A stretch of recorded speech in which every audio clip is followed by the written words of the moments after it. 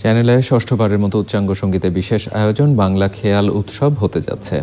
চ্যানেলের ছাদ বারান্দায় এই আয়োজনে একত্রিশে জানুয়ারি বিকেলে পাঁচটা ত্রিশ মিনিটে শুরু হয়ে ভাষার মাসের প্রথম দিন, পহেলা ফেব্রুয়ারি সকাল আটটা পঁয়তাল্লিশ মিনিট পর্যন্ত চলবে। বিস্তারিত মিথিলাফা নাজরিনের রিপোর্টে। সঙ্গীতের অন্যান্য শাখার মতো খেয়ালকে জনপ্রিয় এবং এ ধারায় সবাইকে আগ্রহী করতে চ্যানেল আই ষষ্ঠবারের মতো বাংলা খেয়াল উৎসব আয়োজন করছে।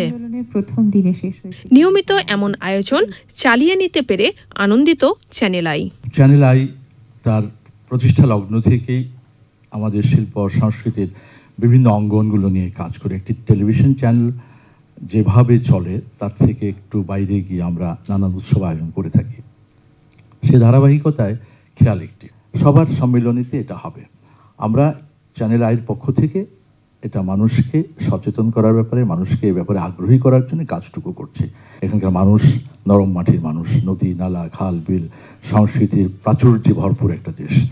সেই জায়গায় সাধক থেকে শুরু করে কত মনীষী শিল্পী এ যাবৎকাল তৈরি হয়েছেন গত হয়েছেন নতুন নতুন শিল্পী তৈরি হচ্ছে।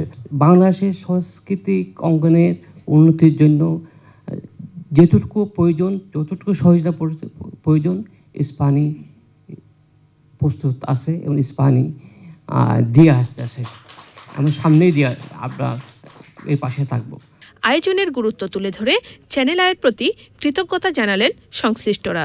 ধ্রুপদ বাংলা খেয়াল বলছি। কিন্তু আমার ঝুড়িতে কিন্তু ধ্রুপদ, ধামার, খেয়াল, টপ্পা, ঠুমরি, গাজাল, কাজরি, এই সবই কিন্তু আপনাদেরকে শোনাবো একত্রিশে জানুয়ারি সন্ধ্যা থেকে। আমি অনুরোধ করব চ্যানেল আইকে যে আমরা যেন অনেক দিন এটাকে কন্টিনিউ করতে পারি।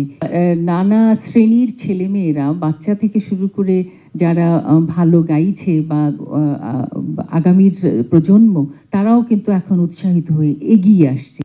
বাংলা খেয়ালকে আরও ছড়িয়ে দেয়া এবং পাঠ্যপুস্তকে অন্তর্ভুক্ত করার আহ্বান সঙ্গীতজ্ঞদের।